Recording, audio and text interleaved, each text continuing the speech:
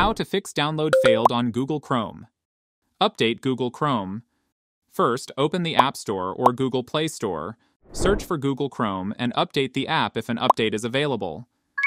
Now, go to the Chrome app and check whether the files are downloading or not. If not, then, check your internet connection.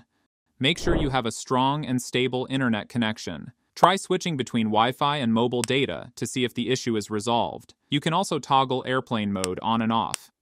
Go back and verify if it is downloading or not. If not, try the next step.